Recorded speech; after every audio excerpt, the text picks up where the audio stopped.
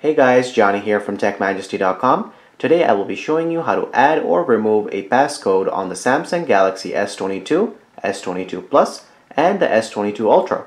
So I will show you how to add a passcode first. So let's go ahead and slide up, go to settings, then we will scroll down to biometrics and security, then scroll all the way down again, click on screen lock type, and now we have a couple different options now. Let me go ahead and explain that to you. So this is the pattern lock. You will go ahead and basically draw a pattern to access your phone. The pin is a numerical pin that you will enter to basically have access into your phone.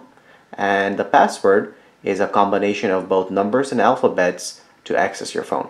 So let's go ahead and use pin just for example. So let's go ahead and enter a pin number.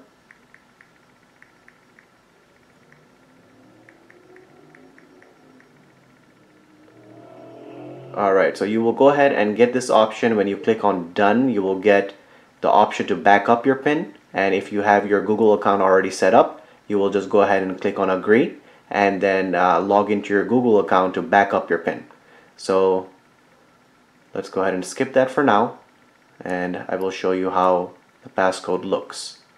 So this is how it looks when you have the PIN set up to access your phone. So let's go ahead and enter the PIN that we created. And there you go. Now we have access to the phone. Now in order to remove the passcode, we will go ahead and slide up again. Go to settings, biometrics and security, screen lock type. It will ask you to enter the PIN again. So let's go ahead and do that. Now once that's done, if you want to remove the PIN, you will simply click on none and that's it. Now when you go back and try to access your phone you don't have to enter anything.